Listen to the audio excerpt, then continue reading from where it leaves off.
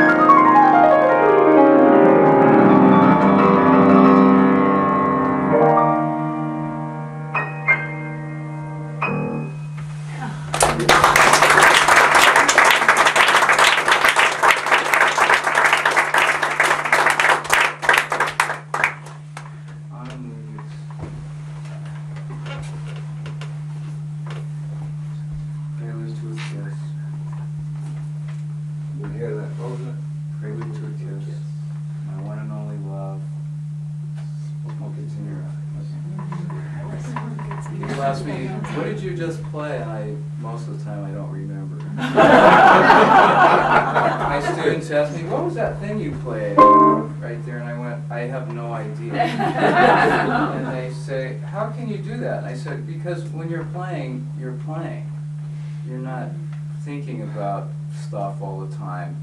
It's like you have to re- be reacting, you know, or else it, it you know, that, that's always like the difference. Like when you listen to Charlie Parker play, and then you listen to everybody that came after him, they sound good, but they ain't Charlie Parker. because he invented it, right? So, you know, it's one of my little pet peeves with my students, because they're always like trying to play like everybody else, and I go, somebody already did that. we, we, you know, you can learn from all these guys, but the whole idea is, you know, then then jazz gets to be like classical music, right? The only time you get to go see it is if it's like, it's not new or interesting, or nobody put their spin on it, you know? Get my little political statement. Because, I mean, I I don't know if many people know about classical music, but, you know, I studied classical piano for a long time, and there's a way you have to play everything. You play Mozart a certain way, you play Bach a certain way, you play this a certain way.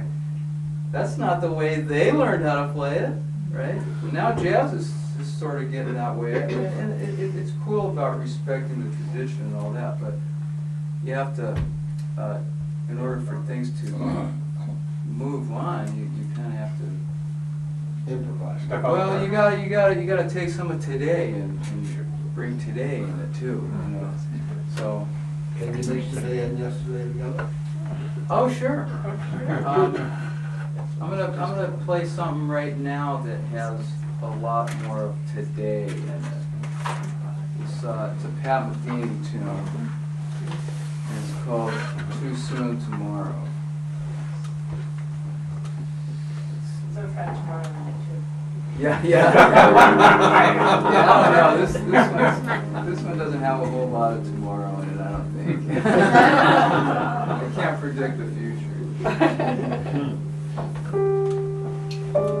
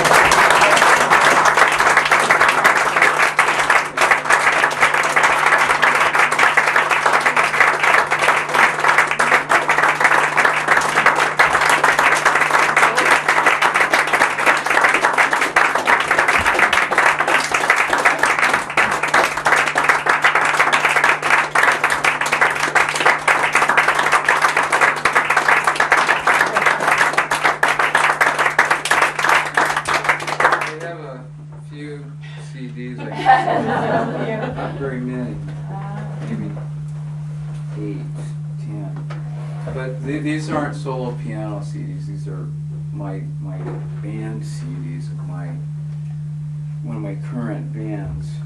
And, um, uh, they played one of these tunes a lot on KPLU for a while, but Deep River, I was on for a long time. They've been playing it, you know, in different, uh, places, parts of the country and stuff like that.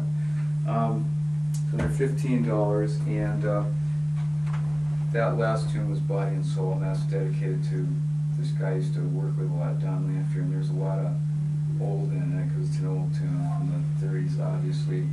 But also, there's a lot of John Coltrane's versions in there, and then there's a lot of other newer stuff in there that, uh, so there's, there's the whole, the whole world of jazz piano in that thank you very much.